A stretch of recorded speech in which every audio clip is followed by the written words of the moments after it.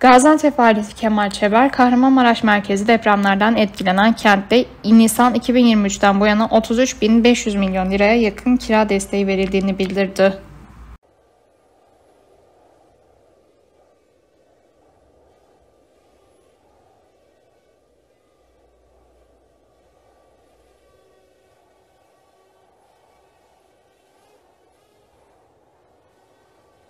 E, toplamda bizim 25 bin civarında binamız etkilendi. Bunun e, 4 bin kadarı anında yıkılan bina.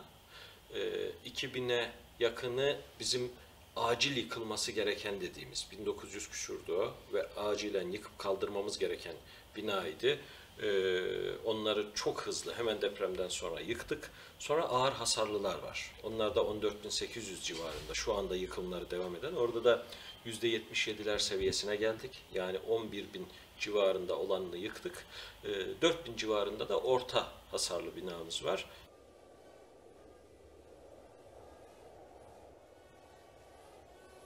Gaziantep'te çadırda kalan hiç kimse kalmadı. Ama hiç kimse.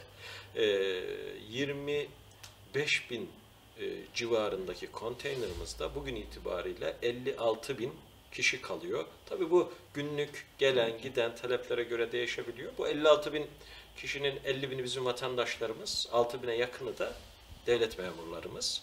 Ee, konutlarda da 25.700 konutun ihalesi yapıldı. Hızla işlemleri devam ediyor. Kimisi temel aşamasını geçti. Kimisi kaba inşaatı bitti. Kimisi tamamen bitti. Mesela bugün itibariyle 2500'e yakın konutumuz tamamen bitti. Ama sadece konutun bitmesi yetmiyor. Ee, çevre düzenlemesi, kullanılacak baz istasyonu, yanındaki işletmeye kadar, doğalgaza kadar her detayı e, düşündüğümüz için biz bir ay içerisinde 10 bin tane konutu onları da bitirmek kaydıyla inşallah Gaziantep'te hemşehrilerimize, afetzedelerimize teslim edeceğiz.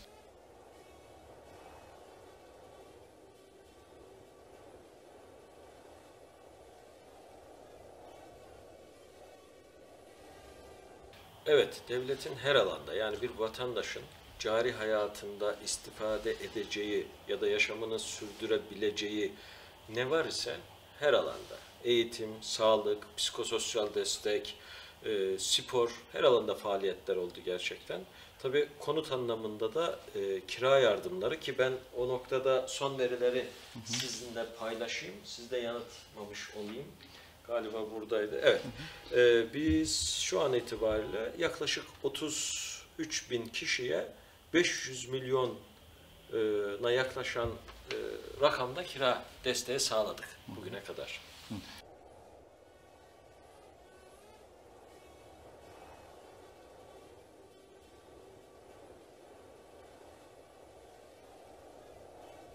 Ortalamayı şöyle söyleyebiliriz. 4500 civarında öğrencimiz prefabrik okullarda eğitim alıyor. Öğretmenlerimiz de konteynerlarda misafir ediyoruz. Ama bunlar da elhamdülillah ısıtma, soğutma, işte su gibi diğer okullarda cari ihtiyaçlar e, anlamında zorunlu olan her şeyi temin ettik. E, ama onları da en kısa zamanda okullarına kavuşturacağız. Şöyle bir vaadimiz var e, vaadimiz değil artık icraata döktük.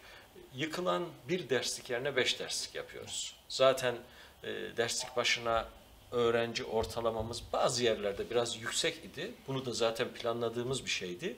Dolayısıyla e, şimdi e, o anlamda deprem de bu süreci hızlandırdı. Yapımı devam eden çok fazla okulumuz var. Sadece geçen hafta 46 tane yatırım onayı istediğimiz okulun onayı geldi. E, ve inşallah e, bir, bir buçuk yıl içerisinde biz yıkılan her bir ders yerine ortalama beş derslik olarak o süreci de tamamlayacağız.